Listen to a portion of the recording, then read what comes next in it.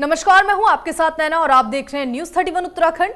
बागेश्वर में तीन दिन की भारी बारिश ने जहाँ ग्लेशियरों की सैर पर गए पर्यटकों की जान संकट में डाल दी है, वहीं जिला प्रशासन की भी पोल खोल कर रख दी है।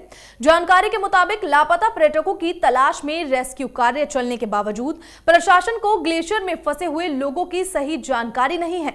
हैरानी की बात यह है कि पिंडारी, कफनी और सुंदरडूँगा जैसी जगहों पर जाने के लिए सरकार से अनुमति लेनी पड़ती है, लेकिन सरकार को इन पर्यटकों के जाने की जरा सी भी भनक नहीं थी, जिससे ये साफ़ पता चलता है कि विभाग और प्रशासन अपने काम को लेकर कितना गंभीर है। बागेश्वर में पिंडारी, कफनी और सुंदर ढूँगा जाने के लिए वन विभाग में पंजीकरण कराना ज़रूरी होता है। लेकिन तिहत्तर लोग ग्लेशियर पहुँच गए और वहाँ फंस गए। लेकिन उनका पंजीकरण करना तो दूर, प्रशासन को उनके जाने तक की भनक नहीं लगी। जबकि अभी और कितने लोग गए हैं, ये भी जानकारी जिला प्रशासन के पास नहीं है। दरअसल, पिंडर घाटी के ग्लेशियरों की सैर पर जाने के लिए वन विभाग कपकोट में पंजीकरण कराया जाता है, जिसका डाटा पर्यटन विभाग को भेजा जाता है। ऐसे में पर्यटन विभाग इसी डाटा के आधार पर साल भर में ज़िले में आने वाले विदेशी और देसी सैलानियों के आंकड़े जारी करता है। आपको बता दें कि वन विभाग के कार्यालय में पंजीकरण कराने के बाद पर्यटकों से कुछ शुल्क लेकर पर्ची काटी जाती है, जिसकी जाँच ग्लेशियर रेंज के ग्लेशियर रेंज में कराने के बाद ही पर्यटक ग्लेशियरों की सैर कर सकते हैं। वहीं पंजीकरण के आधार पर प्रशासन को पिंडारी, कफनी, सुंदरढूँगा जैसे स्थानों पर गए पर्यटकों की सटीक जानकारी रहती है। वहीं प्रशासन और विभाग इसके लिए गंभीर नज़र नहीं आ रहे, जिसका परिणाम अब दिखाई दे रहा है। जहाँ तीन दिन से प्रशासनिक अमला सुंदरढूँगा में हताहत लोगों को रेस्क्यू करना तो दूर, उनकी लोकेशन तक नहीं तलाश कर सका। इतना ही नहीं, बल्कि कफनी ग्लेशियर में भी फंसे पर्यटकों को रेस्क्यू नहीं किया जा सका।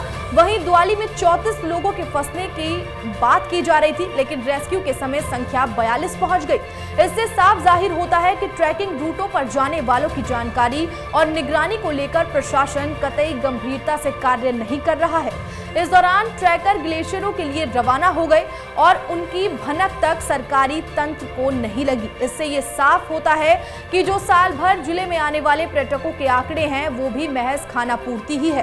सारे आंकड़े केवल अंदाजे के हिसाब से दिए जा रहे हैं, जिससे प्रशासन की गंभीरता पर सवाल उठना लाजमी है। हालाँकि जिलाधिकारी ने कहा कि अब से सख्त नियम होंगे और आगे आने वाले सभी पर्यटकों पर खास नज़र रखी जाएगी।